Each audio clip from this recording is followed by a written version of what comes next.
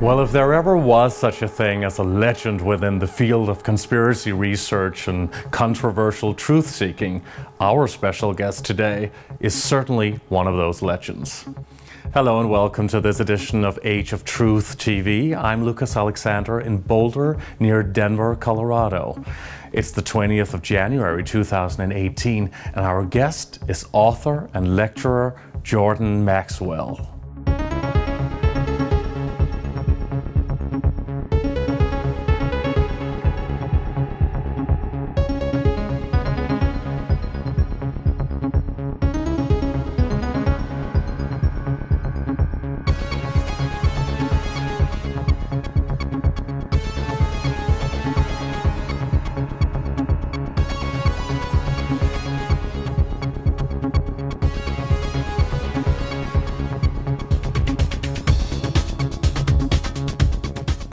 Thank you very much, Jordan Maxwell, for joining us for this interview for Age of Truth TV. It's wonderful that you would invite us to come here to your house in Colorado. Well, thank you for thinking enough of me to want to interview me. I appreciate that. You've been doing so much work revealing secrets about this global conspiracy for 60 years almost.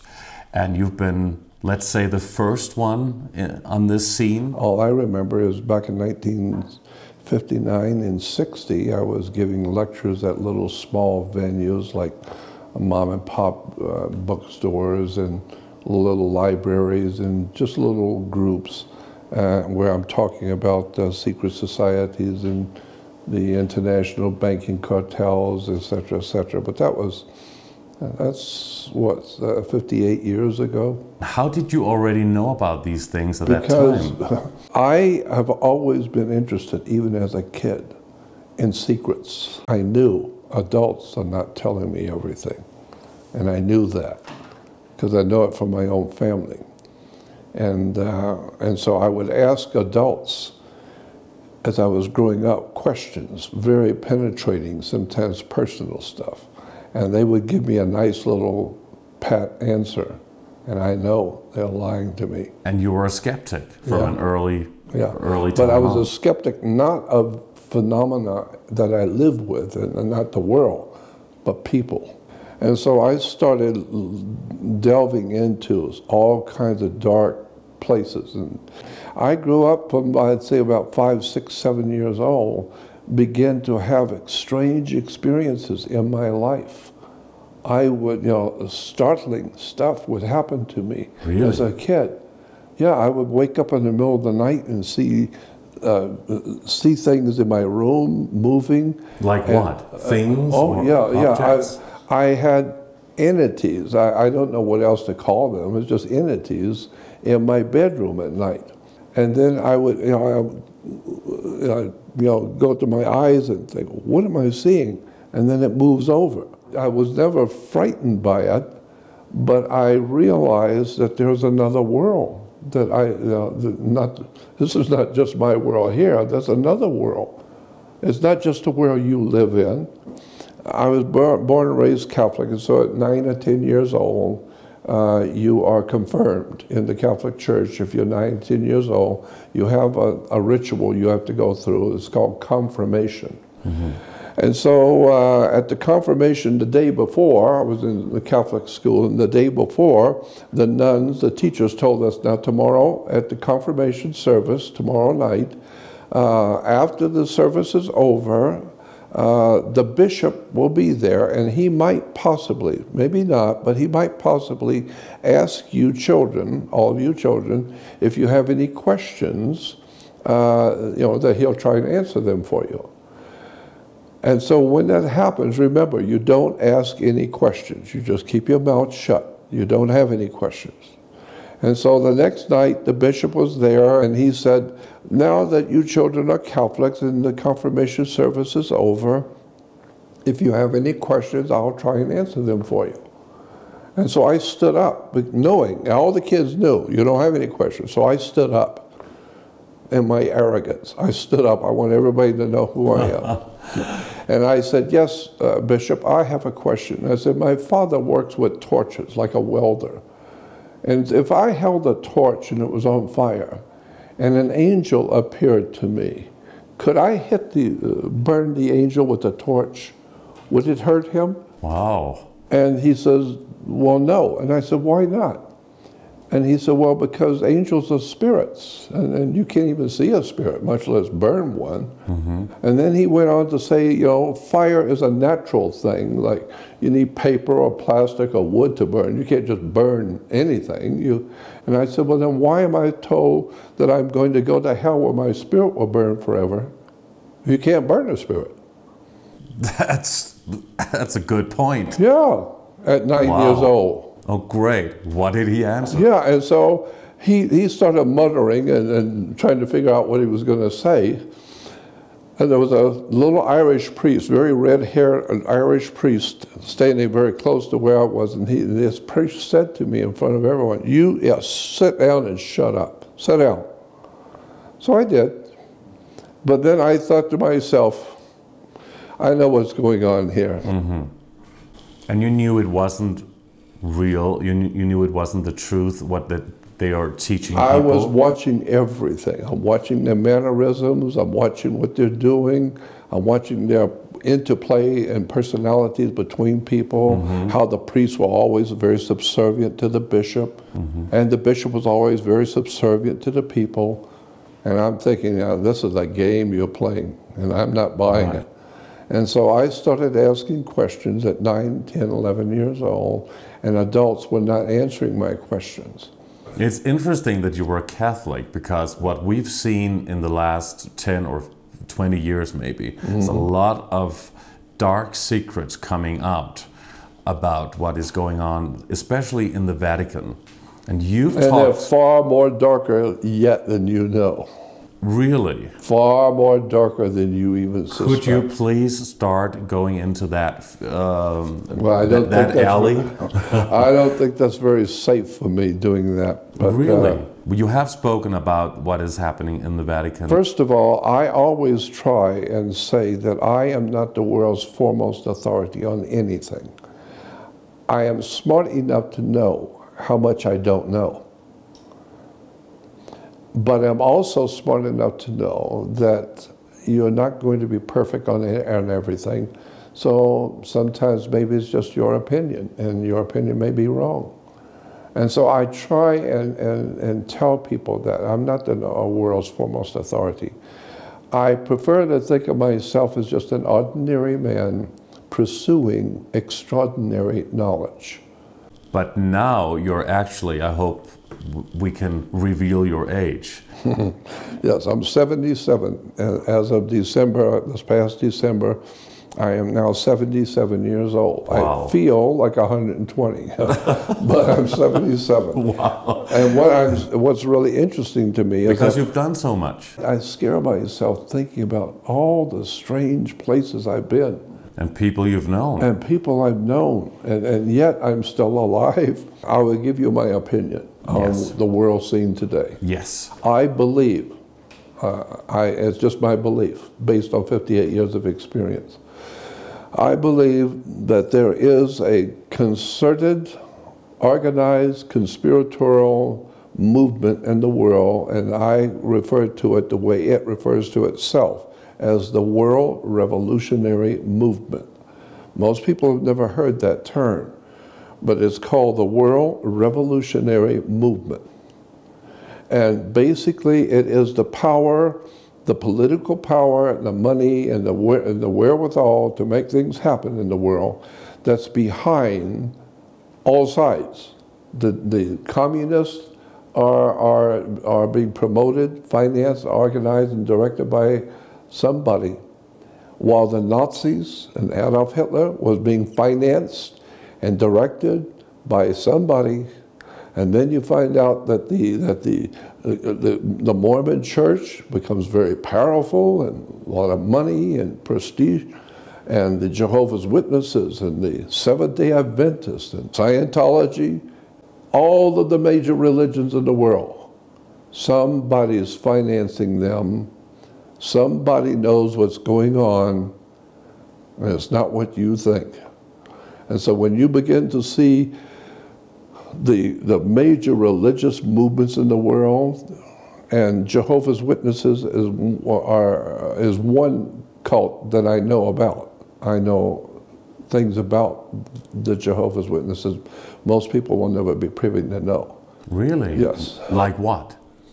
For instance, um, I went out to dinner back in 19, I don't know what it was, 67, 68, in Los Angeles. There was a big Jehovah's Witness uh, uh, um, convention, big one. And so three of the, what, what they call the governing body, the 12 men who sit in New York City, who govern the whole movement of Jehovah's Witnesses. Well, three of them were there in Los Angeles.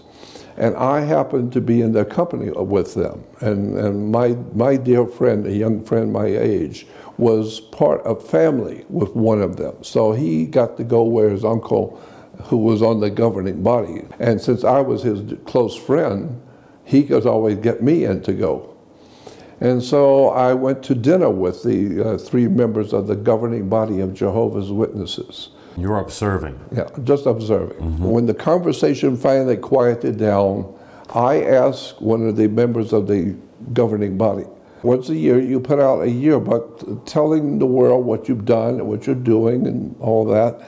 And in the yearbook this year it says something to the effect that the Watchtower Society has paid out in salaries over $67 million, which does not account for all the money that they're buying land and property and printing presses and, and, you know and big properties in Europe and opening up big big operations and printing operations in Asia and all that's all big money.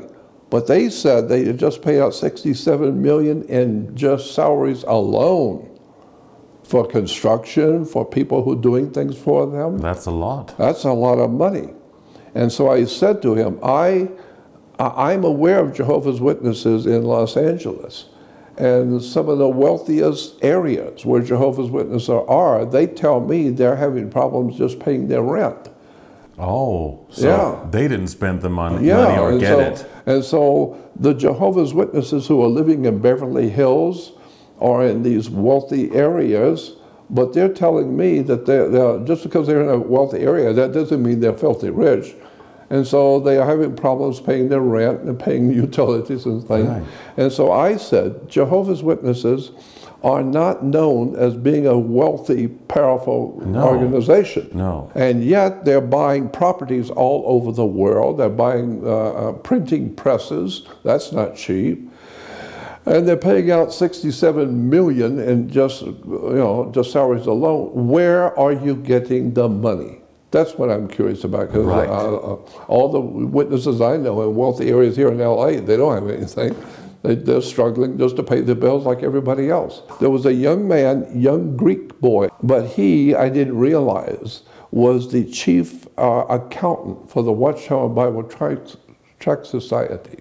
He's the chief accountant. Mm -hmm. So I said, so where is the, uh, where are the Jehovah's Witnesses getting this money? Mm -hmm. And he said to me, uh, in front of everyone, he said, we have two corporate accounts.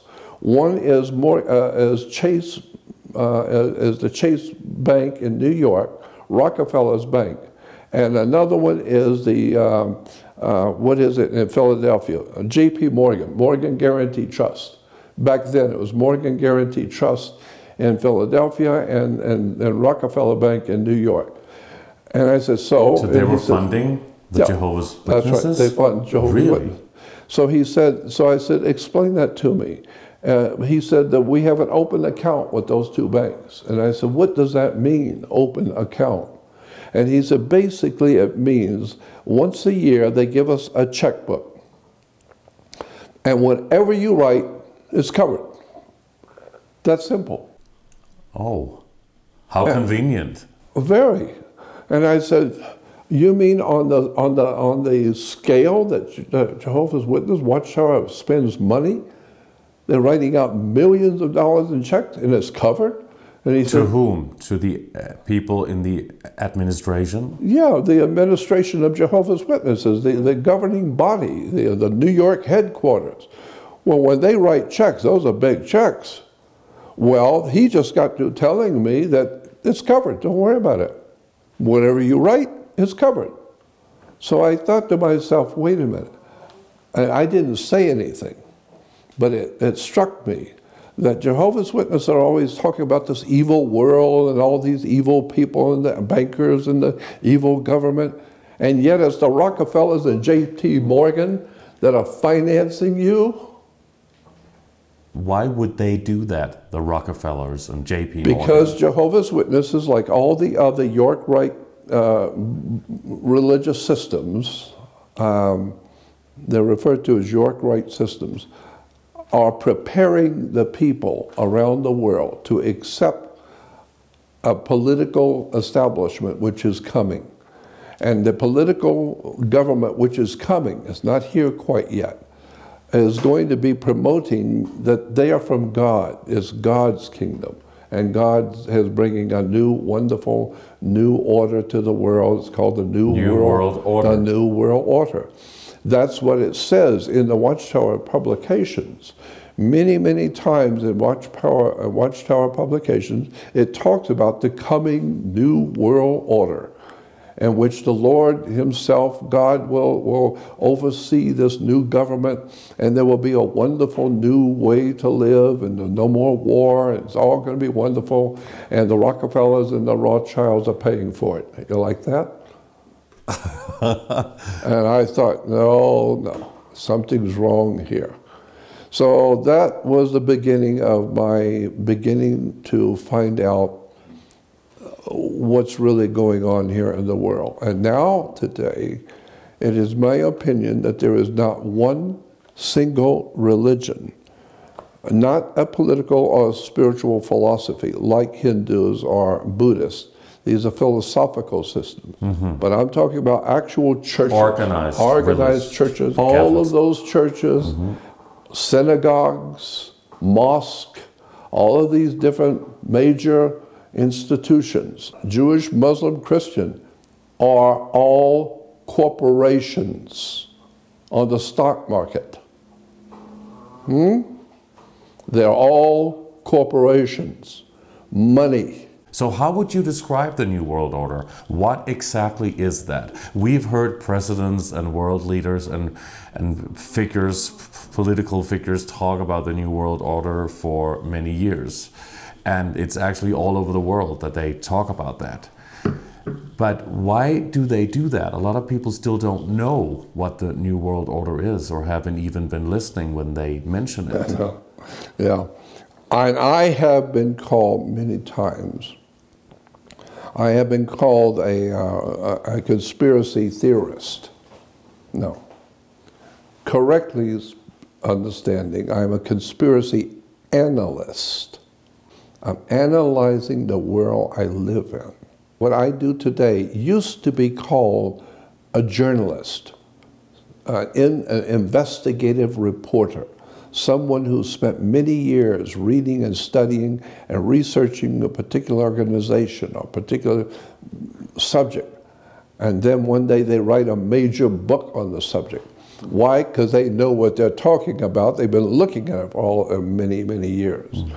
And so they were referred to as research analysts. And the government is very concerned about research analysts because the US government, like all other governments, have things like the CIA, Central Intelligence Agency, because governments don't care if you're a believer. You go to a church or go to a synagogue or whatever, and, the, and you're referred to as a believer. Governments don't care what you believe freedom of, freedom of religion. They don't care what you believe. They want to know what you're doing. They don't care what you believe. So they have organizations called CIA, Central Intelligence Agency. They don't want to hear what you believe. They want to know who you really are. How much money do you really have and what are you doing behind the scene that government don't know about? We don't care what you believe. They want intelligence. And so that's why I say, I'm not interested in what you believe. I want to know. I want proof. And so that's why there's a big difference today between being a believer and somebody who has done his homework, But very often, when people like you and others talk about things that are so otherworldly and out there and wild, for a lot of people, they, they just can't take it in.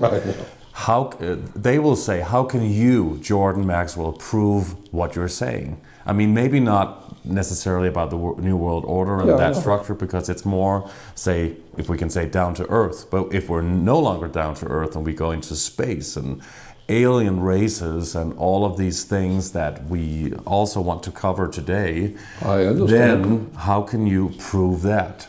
That's right. And I understand. And I would suspect that that's a very good question. I don't have any problem with that.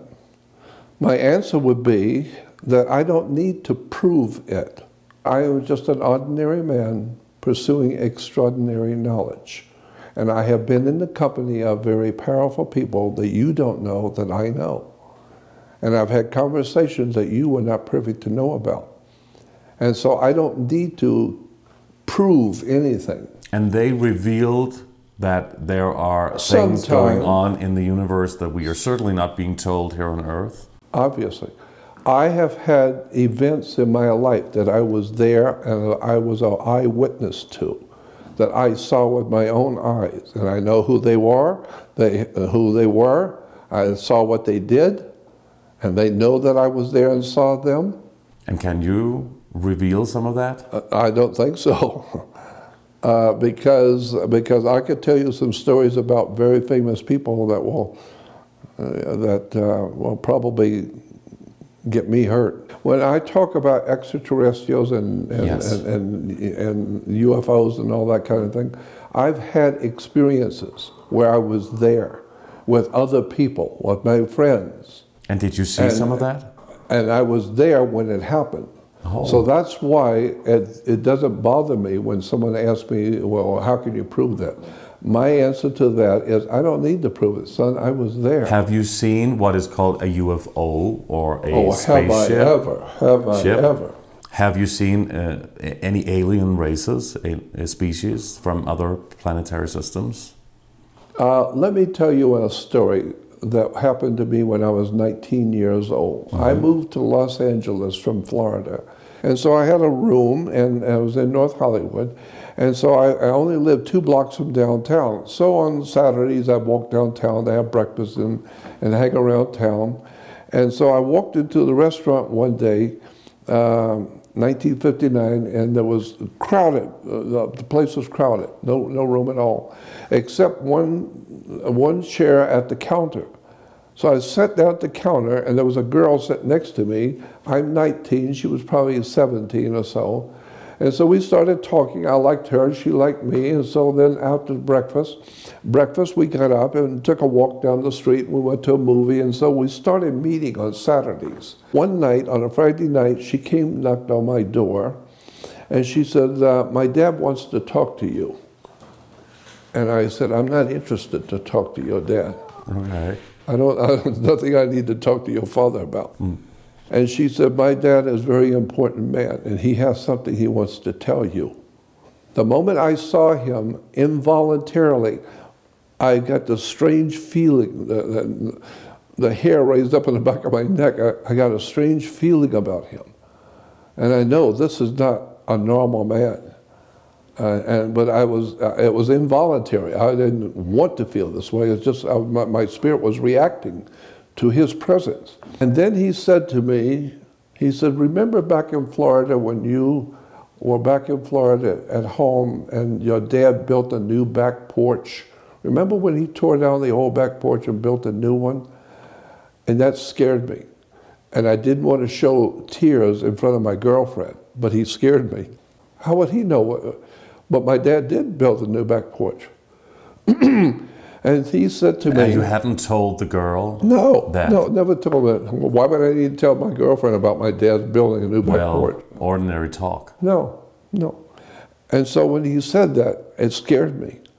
And he said that one night, one night you were about eight years old, and one night you got up and you were not supposed to. You were supposed to be in bed sleeping, but you got up and you went on the back porch at, late at night, and the moon was full. Remember that night you went out on the back porch in the full moon?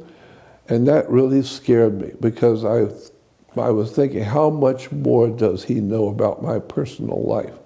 And he said to me, Remember when you were on the back porch, the green lumber your dad had used because it was cheap, but it was green lumber and it smelled funny at night. And you remember how you picked it with your thumb? Remember that when you picked the wood and you put it in your mouth like picking your teeth and you were smelling it because it smelled funny? And I said, Yes, I did. And he said, I know. We were there. And I said, Who's we? And he said, You asked to do something with your life. Why are you here in Los Angeles? Why did you come here? And I said, I don't know. I just needed to come. I just, it was a, a, a, a passion to come to Los Angeles. And he said, That's right. We brought you here. After all, you said you wanted something to do, so we brought you here to Los Angeles so you can do something. After all, you asked God, so we're giving you a chance. And I said, Who is we? And he said, You've always been interested in UFOs and aliens and otherworldly subjects, haven't you? And I said, Yes, very. And he said, Yeah, I know. We've been watching you. And he said, "You uh, would you like to see some UFOs up close tonight?" And I said, "Yeah, I would love that." And he said, that, and then he said it this way. He said, "Well, that I can do for you. Come with me." Mm -hmm. And I said, "Where are we going?" He said, "We're going to see the UFOs." You said you wanted to see them. Well, come with me and I'll show them. And so the two girls got up, and I looked at my girlfriend, and she's looking very uh, interesting look on her face, like, yeah, this is my father, mm -hmm. this is him. And so we went out in the front front yard, and this was about midnight, back in 1959, midnight in North Hollywood, and he looks up into the, the sky and starts inaudibly talking. He's moving his mouth, he's talking, but you can't hear him. And then he turns to me and he said, They said uh, that they're coming from the Griffith Park area going north, and that they'll be coming over the mountain right here just a, just a minute or so. Didn't you ask him at that time who he was? No, no. So I, I, I, I was just, I was watching what he's doing. And, and within about a minute or so, for sure, they, they did, three of them. Three beautiful disc-shaped craft, whatever they were they came from the Griffith Park area. They came over and they stopped right over the top of us in, in, a, in a, triangle uh, formation. And, and, and, they were. But they were round? They were like round. shaped? But, but they were round. But the bottom of each one was like a pie cut in six or eight slices. And each slice was a different color. And, but they were laser colors, not just regular colors, laser colors. But in 1959, I didn't know what laser was. All I know is that these colors are profound. The greens were brilliantly green, and the orange was phenomenally orange. And so they were, now I know, they were laser colors. And they were circulating, but not so fast as to, as to uh, join the colors. But they're, they're brilliant colors circulating on all three. But what's important is that all three of these craft were full moon size, not just little lights, full moon size right over the top of us. And I'm standing there with the two girls and the father, and we're looking at these beautiful, gorgeous things, whatever they were. And, and Did I they give out him, a feeling? Huh? Oh, God, yeah. I had a strange feeling that who is this man who can talk to the sky and UFOs show up. What man can do such a thing? Right. We want to know. and I want to know. And he turns to me and he said, They're beautiful, aren't they? And I said, They're gorgeous. But what is this I'm seeing? He said, That's us. You're seeing us. And you know, you said you wanted to serve God. Well, we're going to let you. And so we have. But some, what does God have to do with with what an alien species or whatever you? That's what he we, said. We want to know He's, who he was now. Yeah, because he said, you talked to God and you said you wanted to, God to let you do something important. Well, we brought you out here so you can do something important. So in my mind, as a 19-year-old, because I'm not stupid, I started to, started to think, wait a minute, there's something going on here that I, I'm not fully aware of how, what this guy's talking about but he does speak to the sky and UFOs show up, mm -hmm. and he knows everything about me and my life. I'm fascinated who this guy really is. How does he do what he does? Yeah. And so my whole my whole idea about God is rapidly changing in my spirit. I don't know what we're talking about here when you talk about God. All I know is God is dog sparrow back. And did you find out? We'd go out there and roam around way out in the desert. And he would tell me about all the extraterrestrial life forms that are here, where they're from, and who's uh, where they're where they're living. And he would we'd go out and look at the mounds, and he would tell me the different alien groups that are here on the earth. We want to talk about that also. Yeah, what you've discovered so- in the last 60 years about that. But who did he say he was? He never told me who he was. He just said, And you never asked. I don't think I ever asked. I just listened. I'm just How, listening. how could you not do that when UFOs appear? And he's saying things that you've done to- totally in yeah, privacy. but I, I, I'm, I'm enthralled with him, and so I'm just listening. He's, But do you think he was uh, an extraterrestrial? that's what I think. That's my. I But think. he looked human. Yeah, perfectly human. But that's what the Bible says. The Bible says that uh, that the that the gods uh, uh, they look human. But who? But who wrote the Bible? Well, I don't know. what is the saying, Bible? I think the? Bible is, is a very interesting and profound book. But I understand it because I've been looking at it for 58 years. And I've talked to all the professionals. But it's written in code, isn't it? Yeah, I know, and I'm the one who talks about that. I'm just telling you that there's a deeper story there. I believe that the Old and the New Testament are metaphors, are spiritual stories that are metaphors. And if you're looking at the Bible as history, then you don't understand, you don't get it. But if you're looking at this Bible with spiritual eyes and knowing it's telling you something, but it's a metaphor, it's a symbolic story. Mm-hmm. Because the, the Bible has Jesus saying, Many will look with their eyes, but not see. They will listen with their ears, but not hear. And with the heart, not get the sense of it. And so I'm saying that's exactly right. There's something in the Bible, but you don't see it. It's a metaphor, it's a symbolic message of symbols. And if you understand the symbolic message, now it gets scary because now it's real. Now you can finally see it. That's why when you educate someone, they say, Oh, I see what you mean. What do you mean you see what I mean? Yeah. Well, I, I get it. I, I get You what- understand it. yeah, I understand it. Uh-huh. Well, how do you understand? You stand under the foundation. If you, uh, you know, you, you're going to build on the second floor, yeah, well, go down the first floor and see if the see if the foundation is going to hold what you're going to do on the second floor. So now you're standing under the foundation to get understanding. That's where the word comes from. To stand under a subject. And now you understand. And so I understood that he has knowledge and can do things I can't, and I love being around him because it was fascinating. Mm-hmm. Uh, I learned so much from him. I didn't feel required to ask him, Where are you from and who are you? He was my friend, my girlfriend's father. And you had uh, been very inquisitive, though, yeah, oh, since your oh, uh, I was very inquisitive up here. But you couldn't ask him. Was it something that blocked you from asking him, or what was that? No, I just never, uh, it just never occurred to me to ask him, Where are you from and who are you?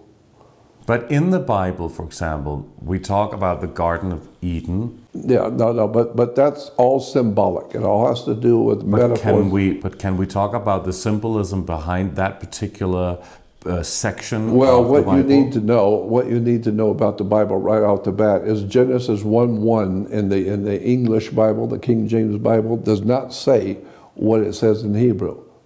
It, it does not say what you So think. it's been rewritten. It's been rewritten, retranslated, and it's all screwed up. And so, uh, in the in, in the King James today, you will read uh, Genesis one one. In the beginning, God created the heavens and the earth. That's not what it says in the Hebrew. It doesn't say that. And so I talked with one of the leading rabbis back in 1960 to 65, was a dear friend of mine, and we used to talk all the time, and he was a very powerful rabbi in America. And I asked him, and he said, nowhere in the Bible does it say God created man. That's Christian ideas, but the, the, the Bible doesn't say that. It's just a story that is written to to control people or to, Well, to make not. them believe, or- or believe something in a certain direction. That's right. How many different alien species and races do you know of, or heard of, or been I have told heard, about? I have heard, and I have heard from people who should know, who are in a position to know, and they tell me there's over 50. over 50? Over 50. And who are the most powerful alien races? Are they all bad or good? And who is working with, let's say, the government? Uh, that's a good question. Uh, and I've, I've, had, I've had experts uh, tell me their opinion and basically what, what they know. I, I can't swear by it, but I've had experts who should know, and they tell me there's over 50, and that, uh, and that most of them look human. Most of them look human. But, but there are others who don't, and there are others who are not physical, others who are energy fields, and, and they can... They're interdimensional? Interdimensional, exactly, that's the word. The Bible basically says, if you read it, it says that, uh, that we were created by aliens. That's what it says. And, uh, and so, but those aliens said in Genesis 1.28, when God is, well, let me go back and lay the foundation because it's a big story, but basically Genesis 1.1 is not correct. It says in, in the King James, uh, uh, in the beginning, God created the heavens and the earth. But in Hebrew, the word God is E-L. El is God in Hebrew. So therefore, if you go back to the original Hebrew and read it, it should say, in the beginning, El created the heavens and the earth, because El is God. But it doesn't say that. It doesn't say El created the heavens and the earth. It says, in the beginning in Hebrew, Elohim created the heavens and the earth. Well, that's different. What does that mean? Well, Elohim is a plural. Just like in English, you have a C-A-R, a car, you put a comma and an S becomes more than one. Cars. Well, in Hebrew, Elohim is a plural, which means uh, should be correctly translated, in the beginning, the gods created the heavens and the earth. And so then later on, when we're talking about God creating Adam and Eve, no, it's not God. The gods created Adam and Eve. And what does it say in Genesis about God creating the heavens and the earth? It says, the God said, come let us, come let us make man in our image after our likeness. And so the rabbi told me that, and, and so I said, well, doesn't, doesn't that say that God created man? No, it does not say God created man the rabbi said, go back and read it correctly. It says, the gods, the gods, more than one, said, come, let us make man in our image, after our likeness. Not make man, but let us make man in our image, after our likeness. How do you do that? We'll mess with his DNA. We'll mess with his whole his whole system of reproduction, the sexual system to reproduce. And so they recreated us. They have said, come let us make man in our image, after our likeness. So humans were there before? That's right. Humans were there way before. Way mm-hmm. before, and then they were changed? Hundreds of millions of years. Hundreds of millions, if not in point of fact, billions. And the reason I would say the, this earth has been the home of highly intelligent life forms for billions of years. Why do I say that? Because in Africa alone, along with other places in the world, uh, mining companies have dug down into the earth many, many miles. And all of paleontology and archaeologists will agree, uh, all agree across the board, that at a certain depth down that far, that strata is at least three and a half billion years old. When you go that far down, you're in strata, which is three and a half billion years old. All scientists agree. But at that depth, they're finding handmade artifacts handmade artifacts melt, melted and made into uh, rings or, or strange little designs at that depth, which should tell you that somebody was here at three and a half billion years ago creating handmade artifacts. So when you want to talk about the history of the earth, you need to go back and do your homework. Does it have to be billions of years? It could be from the from the uh, Lemurian times or Atlantis. All I know is what the paleontologists of the world say. Mm -hmm. That when you go down that many miles down, the paleontologists, I don't know, they're the experts, not me. They say that's three and a half billion years old. What are your thoughts on hollow Earth, the hollow Earth theory? Then, if you can go down that far, or what about going further? I think the hollow earth is not in point of fact history. I think it's a probably a symbolic story because it doesn't doesn't make sense to me. It doesn't make sense to you? No, not at all. Hollow earth does not make any sense to me at all. It's totally ludicrous in my humble opinion. But I'm not an expert. so what about Antarctica and, and oh, well, Antarctica? No, that was Admiral Byrd who went there with his plane and yeah, then suddenly yeah. appeared, disappeared and went into the hollow earth and saw civilizations and what what not. I'm not sure. It's just that uh, uh, uh, for me, the jury is still out on that question. It's like the flat Earth. Yeah. What are your thoughts about the recent uh, flat Earth uh, uh, theories that are that the been flat so popular Earth does recently? not appeal to my sense of logic and intelligence. it is ludicrous. However, having said that, I don't know for sure because there are some very good arguments for the flat earth that are very legitimate and need to be answered. and so I don't know. So I leave that up. I'll leave that till later on. So no out. hollow earth, no flat earth, which is the two opposites. But my feeling is no, neither one. But I'm not the world's foremost authority. So I'm just saying, you're asking me my opinion. I'm saying that my opinion is neither one of them are true.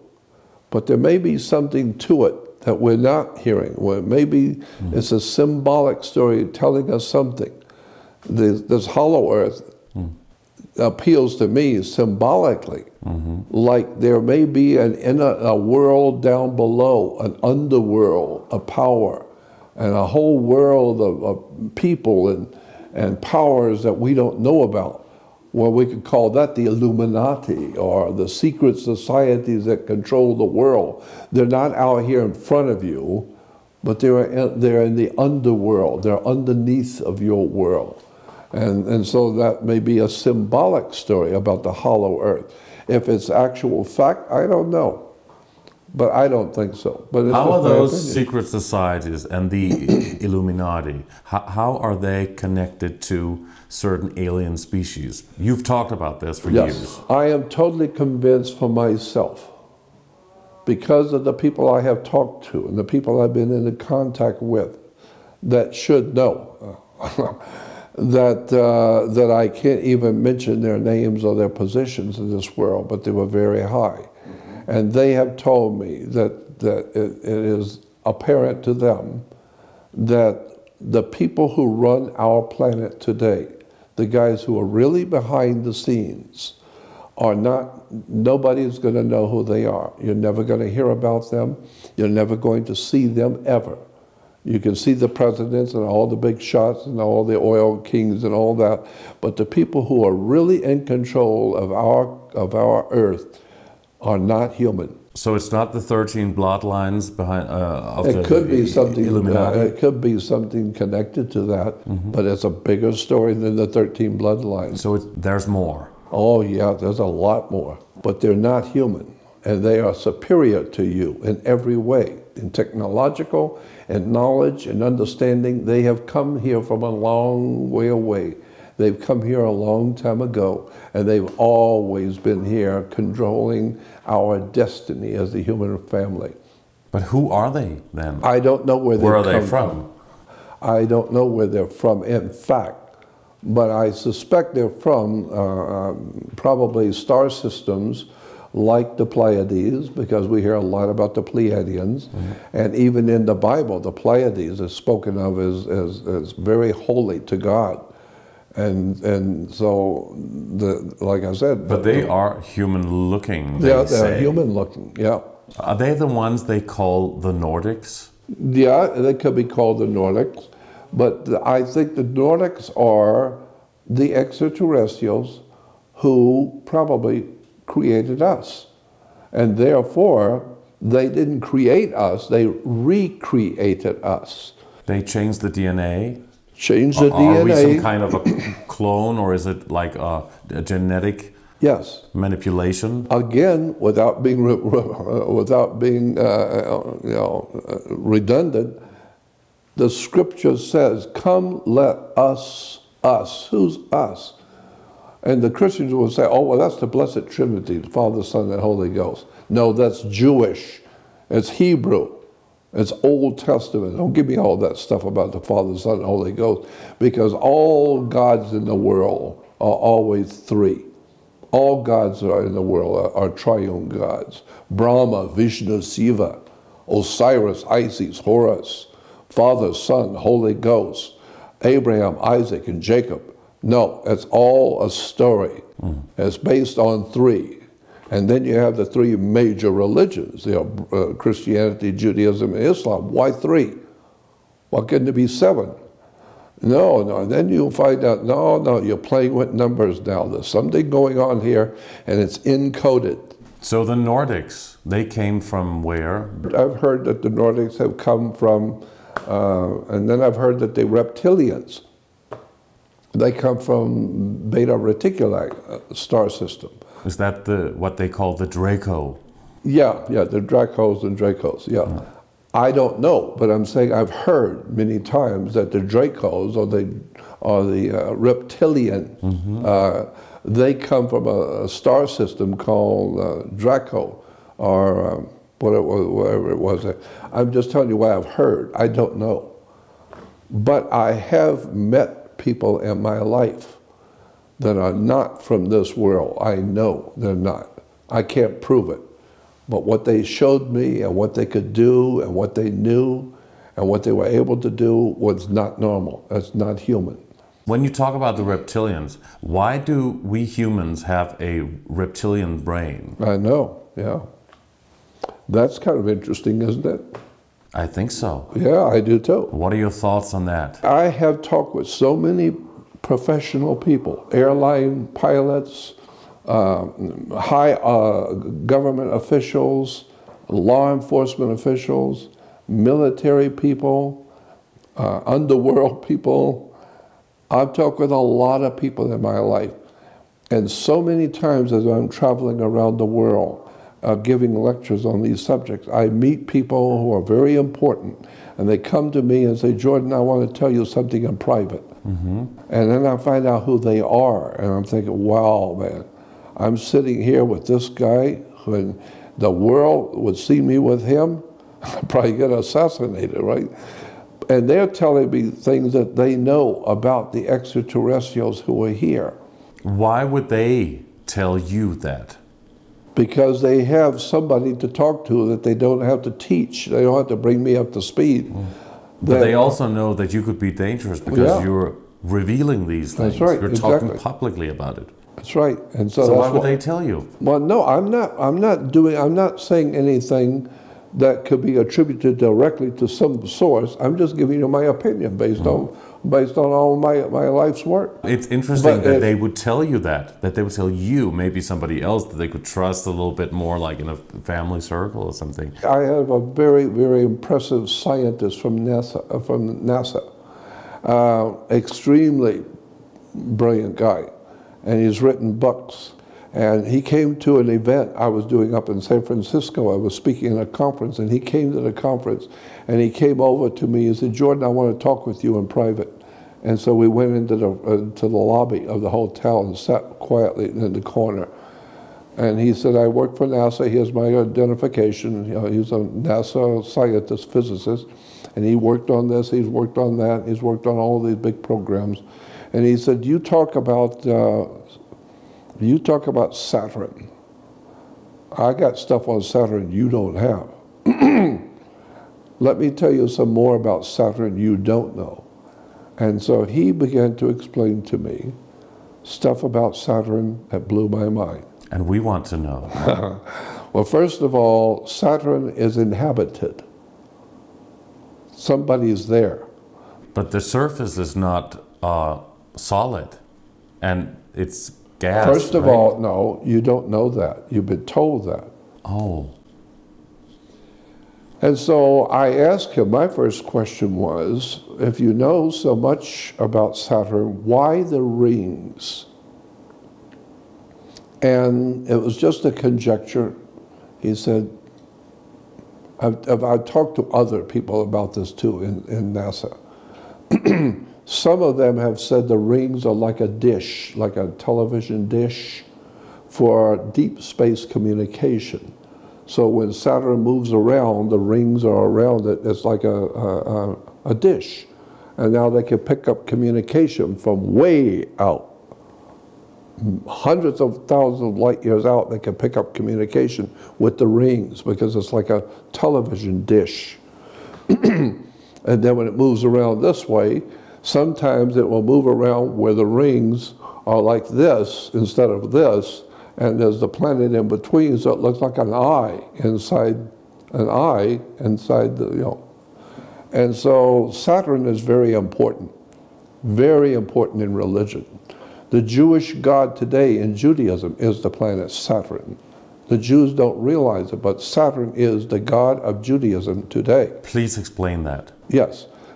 Jewish religion today is based on the worship of Saturn. they probably wouldn't know that. No. It's the reason why is because who cares? I mean, nobody nobody reads nobody reads anything. Nobody cares. You just do what you do because you were born into it. So if you're Catholic, you just go to Catholic church. You never, you never realize that as a Catholic, you're worshiping a God named Dagon. D-A-G-O-N is the God of Catholicism. Nobody knows anything about Dagon, and nobody cares. Why? Because it's just a church. So we go to church and we feel good, and we have all our friends there. And I said, yeah, but you're worshiping Dagon, goofball. Do you know that? Do you know who Dagon was? Who? Do you know what Dagon is? because it's right there in front of you if you just look at the church. I think you'll have to explain that. Yeah. Look at the church. They're worshiping a god named Dagon, spelled D A G O N. Simple. A Phoenician, Canaanite, ancient god that came out of the sea a God that came out of the waters of the oceans. He came out of the sea and he did all kinds of miracles and strange things he knew and taught men how to live and how to grow food and how to do this and how to do that. And then he would go back into the ocean at night and they would see him go back into the ocean and he's gone. But that's not very scientific. That's, that's a myth, right? It's an ancient religion, the Phoenician Canaanite religion. I didn't say it actually happened. I'm just saying that's what they believe. And you got to remember that the ancient peoples, Sumerians, the Babylonians, and all those ancient peoples, uh, they were not writing for Hollywood. There was no Hollywood motion picture company. It's written in code, right? Like in the Bible. well, yeah, it's written in code in the Bible, yeah. yeah. But if you study it, as, a, as an expert in studying it, of which I'm not an expert, but I know how to read, and so I read the experts, and they're saying, look at this scripture. See what it says here? So, how is Dagon related or connected to Saturn? Oh, very interesting question. I didn't say it was connected to Saturn, but I said the Jewish God, Yahweh, is connected to the planet Saturn. There's so many different gods that are involved in our religions. Like in, uh, like in the Hindu, they have God knows how many uh, gods. Also in the Islamic world, Islam, originally Allah was a sun god. Originally, this is thousands of years before the Arabic culture of today. Uh, Allah was a sun god, and Allah was the same as Yahweh. The Hebrew god Yahweh is the Arabic god Allah. Allah Yahweh. It's the same God. And both Allah or Yahweh, Jewish or Islamic, Originally, Allah and Yahweh were sun gods. But then something happened in the ancient history to change that so that Yahweh or Yahweh and Allah are now moon gods. And Moses was the leader of a moon cult. Moses was a leader of a lunar worshiping cult. And so Yahweh was the moon. Well, it was actually the sun, yeah, but now at Moses' time, Yahweh is now the moon god. And so the moon god in Arabic was, uh, was Allah. So Allah is a moon god. And so today, the Jews have got the sun worship with Yahweh, and they also got the uh, uh moon worship with Moses. Moses was a leader of a lunar cult, a moon god. But Moses is a fictional character. Yeah? Moses is a fictional character.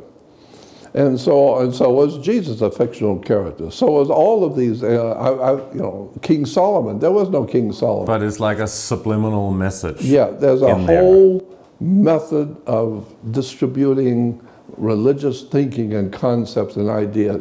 But I believe that there's somebody very intelligent, not from here, who is manipulating all of this to entertain us, giving us gods and philosophies and ancient religions and never realizing in your mind for a moment all of these stories are coming from somewhere and somebody's leading us. How is that connected to Saturn? Saturn is a very important planet in all the ancient religions of the world. All the ancient religions. You say it's a transmitter because of the rings, you say. Well, I'm just saying that as an idea that I've heard expressed.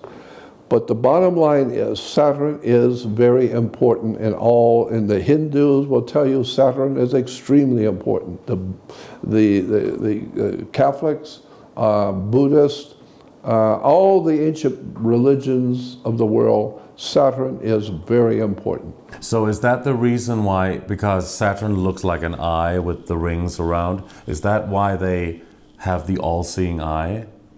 That's, that's, that's what some of the best physicists and scientists and mythologists who work together have been saying for a long time. There's companies out there that have been, uh, that, uh, companies of scientists, philosophers, mythologists, some of the great minds of the world uh, are saying. That's what they're saying. And I was a member of that organization. There's one organization in particular that's very famous for saying that. It's up in Portland, Oregon, and at one time I was affiliated with that. And I even hosted their conferences um, back in 1995 where we were talking about, or they were talking about, I was just a host at the conference, but they were talking about where are all of these stories about the gods and, and, who created us and the end of the world and all these things come from?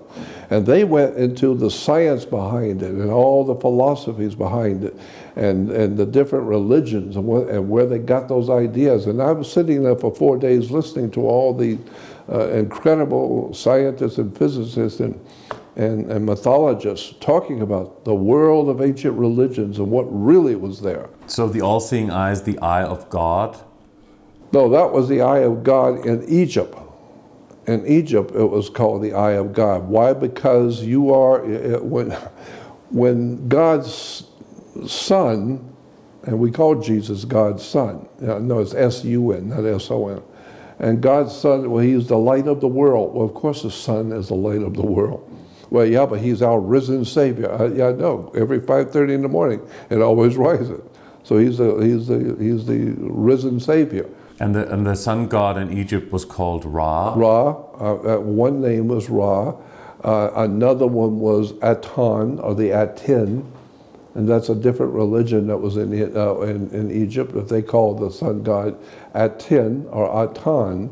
Look it up in the dictionary. A-T-O-M was the Aton, was the sun god in Egypt.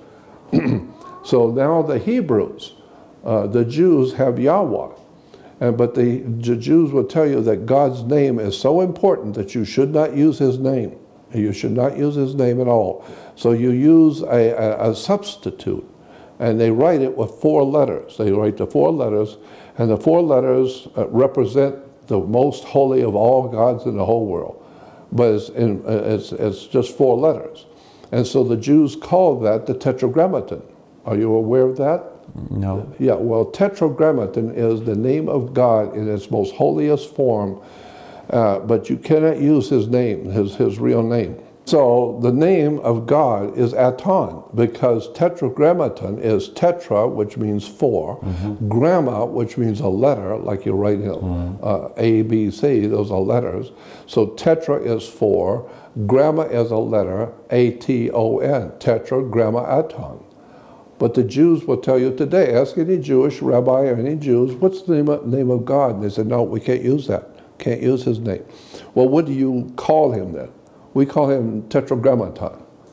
Tetragrammaton, A-T-O-N. Mm-hmm. And then everywhere around the world, and every synagogue you will ever go into in any country of the world, you will always see God's name inside a sun. Mm-hmm.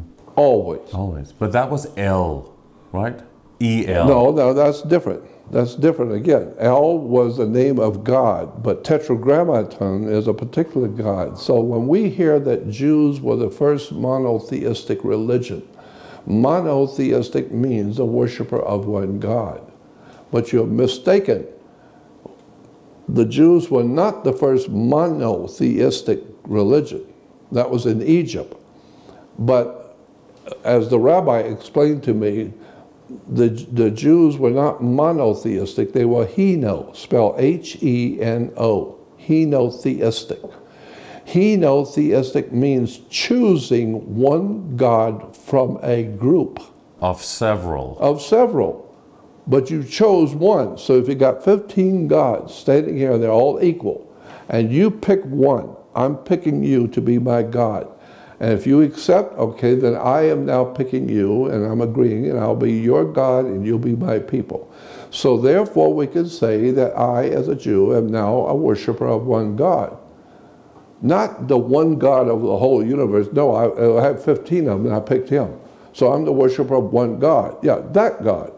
And that's why in the, in the, in the Bible and the Ten Commandments, God says in the Ten Commandments right off the, right off the start, He says, I am the Lord your God, and I will not have strange gods before me. He didn't say, I'm the Almighty God. No, I am the Lord your God. You picked me, and I agreed. So we got a contract here. The same thing a young man would say to a girl that he's going steady with. Yeah, there are other young men out there even better than me, but I'm, I'm committed to you, and you're committed to me. Mm-hmm. So yeah, there are a lot of other young men out there, but I better not see you with one of them. I don't want to have any other man in your life but me. Mm-hmm. So we've made a deal here. Mm-hmm. I picked you and you agreed to pick me. And so when you say Jews are God's chosen people, no, the, they picked one God, so they're the worshiper of one God. Yeah, but there's 14 others you didn't you didn't mention. So that's that way to understand that. So, in what way is Saturn connected to that religion in, in Well, Judaism? Saturn, Saturn was connected because Saturn was referred to as the inhibitor. Uh, Saturn, in all the ancient sciences of the world, everybody knows that Saturn was called the inhibitor, the, the, the stable one. Why? Because it's always sitting right there, and it's the only, as we can't see any planets out past Saturn. But with your naked eye, at least you can see Saturn. It's a little star, but if you look at it, it's Saturn. And so Saturn was called the inhibitor, which means anything that can in, in, uh, that can hold you back and teach you a lesson. So therefore, mafia, police department, government, the military, the Marines, they're called Saturnalian uh, uh, societies. They're Saturnian. Why? Because they can hold you back. They can put you in prison. They can teach you a lesson. So any uh, uh, organization that is powerful enough to teach you a lesson and hold you back, we call it Saturnian. Talk to anybody who knows these words. Saturnian means severe holding you back and teaching you a lesson. So therefore, the Jews will worship Saturn on Saturn's day. They go to Temp El, and El is Saturn. So El is Saturn in the ancient world well, it says in the beginning, El uh, said, Come, let us. Us. Who's us? And so, therefore, what I'm saying is that Saturn is the inhibitor who holds you back. So, the ancient Jews or the ancient people said, if he's going to hold us back, then we're, we're going to, and incidentally, the, uh, the planet Saturn in the ancient Phoenician language, in the ancient Phoenician language, the planet Saturn was referred to as Shabbath. S H A B B A T H. Shabbath was Saturn. And so if you're going to worship Saturn and he's Shabbath, then you do it on a day you call Sabbath. Sabbath is Shabbath. Sabbath, Shabbath is the planet Saturn. So the Jews worship Shabbath on the Sabbath. And that's why they go to uh, the, the synagogue and have their holy day on Saturn's day or Saturday, right? And they always have their holy days after sundown, after six o'clock. They have their holy days, and always the holy days after six. Why? Because that's when their day starts. Their day starts after six o'clock. So unlike Christians, we at, at 12, uh, uh, 5 o'clock in the morning, we greet the sun. No, no. They're worshipers of the moon. And so from Egypt looking eastward, from Egypt looking east, there's a whole series of high mountains in the Sinai. And every night the moon comes up in the east from the mountains. So they call him, the Arabs call him the old man of the mountain who lives in the mountain. Why do we say that? Well, obviously, every night it comes up from the mountain. But it comes up after the sun's gone down. It comes up at 6 o'clock. So if we're going to worship the old man of the mountain or the moon, we do it at 6 o'clock in the evening. Because now he's going to be in charge of the universe all night long. And so that's when our day begins because we're worshippers of the moon. So it's a moon. Even the Jews will tell you they have a lunar calendar. And so they, they, they trace their day from many moons. Well, but so is the Native Americans. They trace their, and they're called tribes. So, so Saturn is very, is also connected to the moon, definitely. And also, the, several researchers say that Saturn and then the name Satan is related. Now, I got news for you. You hear a lot of talk about Lucifer. Yes. Yeah, Lucifer this and Lucifer's the devil and Lucifer. Well, in point of fact, if you do something really interesting, go to a library and read a book. Go to a, a library and read reference books on words and terms. Most people don't have time to do that. If you do that and you do the study of the word Lucifer, you will find out Lucifer is Jesus. Jesus is Lucifer. The Bible says that. So a word that is that that means the opposite, and people worship it, like what Satan, Sat uh, Saturn. Satan. Satan is a word in Hebrew meaning an opposer in court. So if you're going to in court and you're a Jew and you're going into court with another Jew, and so in the, in the Jewish religion, you're going into court against your brother, against another Jew that's very serious. Uh, you take a Gentile to court, maybe, but now you're going into court to fight another fellow Jew. So that's a defense lawyer? No, it just means two Jews fighting in court. Really? And Is that so, what it means? Yeah, and so basically that's where it comes from. And so the word uh, for an opposer in court, when you're opposing a, your brother in a court, you're enemies now. You're fighting each other in court. So you're an enemy. Well, the word for an enemy that you're opposing in court is called a satan, S-A-T-A-N, a satan. A satan is an opposer who's opposing you in front of the judge. The judge is God. He's opposing you. He's saying you lied and you did something, and he's telling God, he's telling the judge. The judges all wear black robes because black robes were assigned to Saturn, uh, Saturn's god, the, Saturn's uh, priest. Priest of Saturn always wore black robes. So a black robe represents someone who is officially representing Saturn. The god Saturn, who's the inhibitor.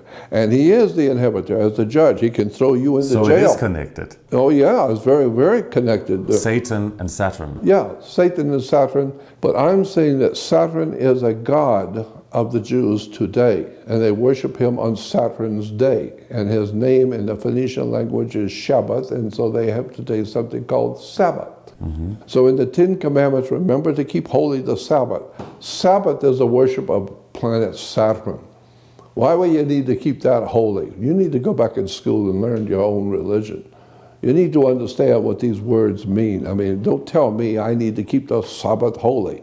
Why? But Why they certainly would not believe or think or want to uh, well, embrace the idea that they, that's actually what they, they are serving or what they are be believing in. Of course, in. no. They don't know that they're serving Saturn. They don't know. No. But but one of the most important symbols in Judaism is the six-pointed star, the, six, the right, the, the star of Saturn, the star of David.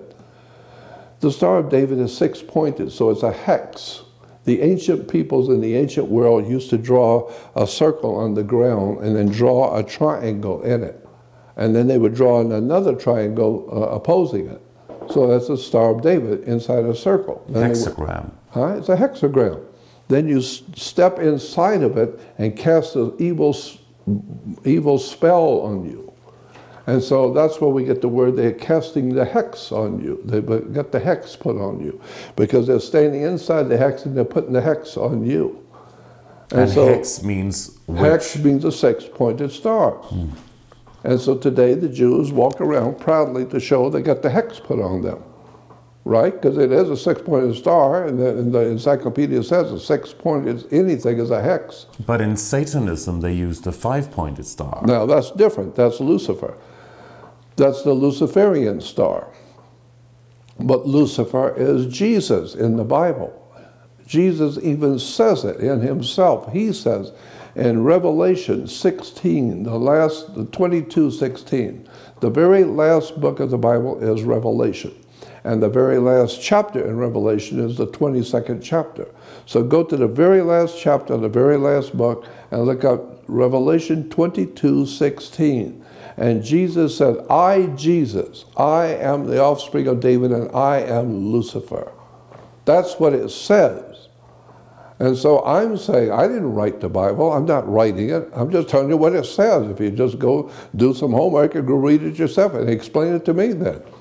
But that's what he said. I am Lucifer. And so what, So the Christians are also worshiping the opposite than what they believe and what they exactly think right. they're doing. They're worshiping Lucifer. The same that you said the, that, that the Jews are doing. Yeah, exactly, and the Muslims too. The so whole world. Is, the is, whole world is worshiping what something satanic. Yeah, that's what I think. And I think that when I say satanic, I think the whole world and all the worship is going on throughout the world is being, is being led. We're all humans and we're being led into this by higher powers in the universe. Higher. Why would they want us to uh, worship something that is sinister and dark instead of something good and light, which people think they're worshiping? Yeah. Well, when you when you meet them, uh, them whoever they are, ask them that. That's a good question. I I, I don't run into them often. I know. Uh, I actually had an incredible experience at Area 51. And How could you go near it? It's very, it's totally prohibited. No, no, no. It, it, I call it Area 51. It's a little town outside of the base called Rachel. Mm. Rachel's a little Mickey Mouse little establishment right. out there yeah. in the middle of nowhere. Is it near the Alien Center? Yeah, yeah. It's near S S4, and all of that's just it's just like, like a mountain range. It's only about a mile out. There's some mountains, and over those mountains is Area 51 and right. S4. So you can sit here in a restaurant at night and have a beer and have dinner, and you're only a, a, a mile from Area 51. So anything coming in or going out at nighttime, you're going to see. And that's why people go there to, uh, to Rachel and sit out at night and watch all kinds of strange things. So is going. it true what they say? Oh, that, yeah. That, that is going on inside of Area 51? No and doubt also the underground levels? No doubt in my mind whatsoever because I've seen things with my own eyes there that will challenge your understanding of life on the earth. I've seen it. I was there with other people. I'll give you their names. We saw things there that you would not believe. What did you see? We saw seven. It's a big story. I could go back and it's a big story. Just briefly. Briefly, we saw seven beautiful full moon size UFOs uh, 20 miles north of Rachel. We were 20 miles north of Rachel Mm-hmm. in an area called Railroad Junction. and we were out there about 2 o'clock in the morning. Uh, a lady friend of mine and a friend of mine who owns a bookstore in San Diego. Uh, and all three of us went out there. And we saw, uh, when we got out of the car, it was totally, totally black, but it was all overcast. You couldn't see anything. All of a sudden, the clouds opened up a little bit, and two beautiful, gorgeous, glowing, bluish white saucer shapes came in and stopped over the top of us. They were gorgeous. They were uh, uh, emanating light on the clouds above them. They were reflecting their light on the clouds. Five more came in behind them, and there were seven of them sitting right over our head. All seven were beautiful, gorgeous, and scary, frightening to me. My two friends thought they were beautiful and were delighted to see them. I was frightened, and it scared me because I know something they don't know, and I know this is not human. And whatever but it is, could it be military and something that the military technology? I know a lot of people think that it could be just us military, but I'm telling you, what we saw them do and what we saw later, it wasn't military. It was not of this world because one of the aliens came in our bedroom when we went back to Area 51. in your bedroom? Yes, in our bedroom. It came into the motel where we were staying that night. After we saw the seven, we went back to our motel in Rachel, and we were there in the bedroom, and there were two beds. There were two bedrooms, and my my friend, who's a publisher in San Diego, he stayed in the one bedroom, and my lady friend of mine, uh, uh, she's a radio talk show host in Hawaii. She and I stayed in this one room. Wow. You always want to have invited guests in your bedroom, don't you? No, I don't want uh, visitors from another world in my bedroom. My friends, that's okay, but no. That's it. And so we laid in bed talking about what we saw tonight, those seven beautiful disc shaped things out there in the desert. And what, what we saw them do, what we saw them do Right. was not human. Not human, not military. No, thank you. Not human at all. They did things that humans can't do. And so, and I know I was born and raised in a Navy town in Florida. One of the largest naval air stations in the world is in Pensacola, Florida. The single largest naval air station in the whole world is in my hometown What came into your bedroom after you had seen some those lights? Some kind of an alien. In the middle of the night, I, uh, we were talking that night before we went to sleep. We were talking about what did we see tonight? Because what they were doing out there in the desert, we humans can't do. We don't have that kind of uh, Right. uh, technology.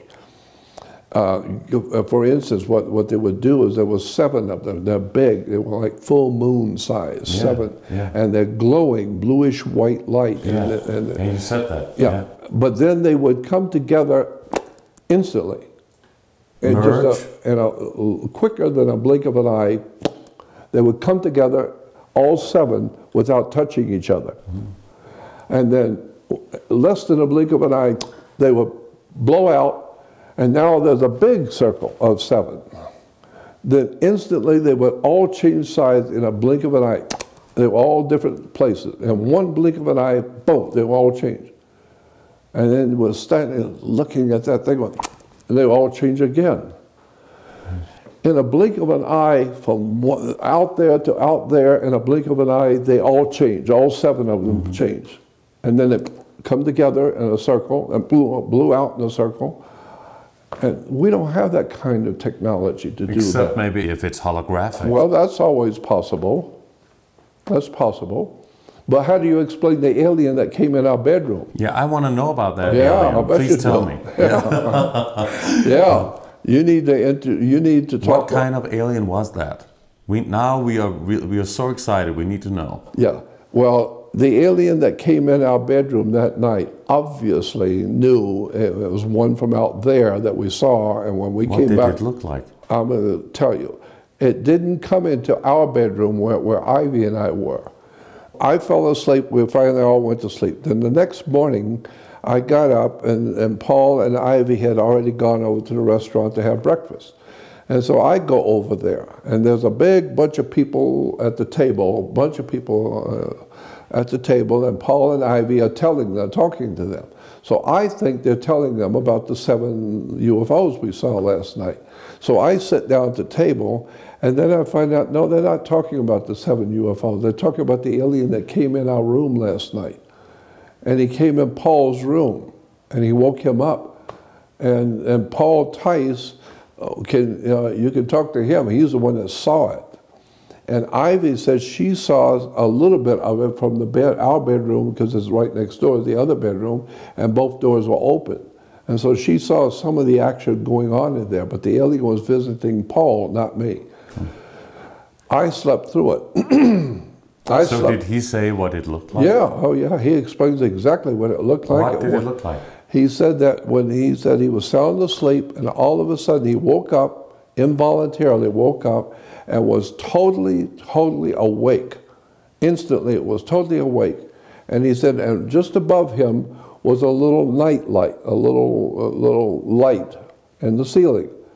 But it hadn't worked. It wasn't on. It never has worked.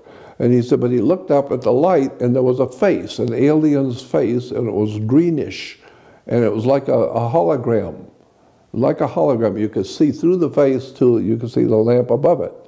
But this green face was looking at him, and he said, all of a sudden, as he saw it, he looked at it, and it's looking at him, this hologram face.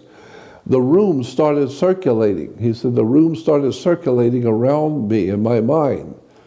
And he said, I'm seeing the door going this way, then I'm seeing the, the, the, window going this way, then I see the door coming back around. And so I'm seeing the room is circulating while I'm looking at this alien face. Mm-hmm. Then it slides across the ceiling, hits the wall, and comes down. And then he said, and I got up, sitting in bed, and now it's even with me. And we're talking to each other. And so I would, I would prefer you talk to, to uh, Paul. I'll put you in touch with him. He hadn't been smoking anything funny, had he? Paul Tice, everybody who knows Paul, he's a very businessman. He's, he's a publisher. But he's had a lot of strange experiences in his life with aliens and extraterrestrials. We were just touching upon the, this subject on, on the reptilians. Is that something you can go into? That would, it would be very interesting if you can talk a little bit because a lot of people are talking about how the uh, reptilian race or races are involved in worldly matters, uh, things. on They are what I think is who's running the world. I think we're being, uh, the whole human race is being misled by alien life forms who have come here from another place, who are smarter than we are, technologically superior, just way down the lo- way down the road, smarter than you'll ever be. And they know how to run civilizations, and they know how to start religions and governments. They call the shots because they have powers we don't have, and they can make things happen. reptilians. Re- Well, the reptilians or wherever they may be, play Plea- Pleiadians. I don't know who they are. In point of fact, I haven't gone to their house yet. But can you mention a couple of different races that have that are very important Well, to yeah, this like whole the Dogon. UFO phenomenon? Yeah, like Dogons. The is spelled D-O-G-O-N. Dogon, not Dagon. Dagon is a Oh, Catholic. kind of similar. Yeah. Dagon is D A G O N, mm-hmm. which is the God of the Catholic Church. But there is a group of, there's a black, uh, in Somalia, in Africa, there's a black uh, tribe of, of natives there. And that, that, that Indian tribe is called, the black tribe is called uh, Dogons, D-O-G-O-N-S, Dogons. And go back and read in the, in, in, on the web, go look up Dogons and read about uh, some really very impressive scientists and people, writers and researchers. What do they look like? It's just a bunch of black tribesmen, people live in a tribe in, in Somalia, but they are now blowing uh, people's minds of what these, these, what these tribal people can do. They, they know everything about the universe. They tell you everything about the universe, how, how, how heavy the sun is, how heavy the earth is, all the different planets and how they, how they got here. And they're telling you all kinds of things that scientists today are just now beginning to find out they're right and they know all about the stars, the star systems, and how far it is from one place to another, and how to do this, how to do that, how to do space travel. And so, and so now scientists have finally heard about them, the Dogons, D-O-G-O-N-S. Oh. And so they've gone over there and talked to them. Mm-hmm. And they say, how do you know all of these things that we didn't even know? NASA is learning from you. All the things you're telling us are fascinating and they're true. How do you know this? You're just a black tribe in, in the mountains of, of Mali, and we are the, the great scientists in America, and you're telling us things we've never heard. So those, those that tribe in Mali yeah. is is they're called the Dogons, and they is, know is, uh, they know all kinds of things about the universe and us as humans that nobody knows. So they asked them, these scientists and, and writers and people go to visit, how do you know these things? Because you're right. Well, we didn't even know it. How do you know it? And they mm-hmm. said, they come and tell us. Every so many years, the aliens come from out there and they meet us. They come to our place. They come to our, our, our, our, our community and they tell us in our own language, in our language, they tell us about the universe, about what they're going to do, about what's going to happen on the earth and when it's going to happen and who's going to do this and who's going to do that and what's going to happen to the whole world. And they tell us all these things. So when they leave, we just tell everybody else, and nobody knows what we're talking about until you find out we were right. Well, how did you know? It's simple. They told us. That's all we know. They come here and they tell us. They come down and they're they're they're. So saucer. is that a good race that huh? tell? Is that a good alien race that are telling the Dogons these things? I don't know. Read read uh, Robert Temple Templeton's book. He's the one that made it famous. He's from, I think, France, and a French writer and author and lecturer and a scientist. And he went there and stayed with the Dogons and listened to them and, and, and learned. And he's written a book called The Dogons. Uh, and, and I think it's like two or three books now, where he explains who they are and what they know and how they know it. And today, all over the world, top scientists and top governments of the world want to know what else are the Dogons telling you? Because everything they've said so far, we had no idea in the world about, and they were right. And That's so they say that there's aliens coming from out there. Well, somebody is telling them. Hmm. And so you better find out who these people, these Dogons, really are. Hmm. What are your thoughts on the theory of shapeshifting? I think that is extremely possible. Yes, I, I, have no problem with that at all. I think that's very possible because the technology, we know how it works. I mean, I've had, I've had all kinds of people in government and military telling me about the technology. Here's how it works. Because you're an energy form. You are an energy form. We are holographic? Not really solid? No, well, of course we're not solid because they tell you that we're 76% water. And, uh, and so we're solid, yes, but uh, there's more to the science than meets the eye. And I've just listened to the scientists. I'm not an authority in that field. But I'm listening to the scientists who are telling us that we are not who you think we are. We're capable of a lot more than what we're doing and that some of us are not even human. We look human. Well, uh, I would say when I hear that from somebody that we have uh, aliens who are leading us. And government. Government, but religious leaders, who knows what the Pope really is. What is the Pope really? I'm saying they could be aliens from another world that look like human. They look like humans. But shapeshift but they have shifted into a shape where you can see them as a man. So they could shift back again to their original yeah. form. Yeah, absolutely. What would the original form Well, be? I don't know, but I'm just saying, you mm just asked the, the generic question, uh, what do you think about shape shifting? And I said, I'm totally convinced it's, it's, it's, it's true.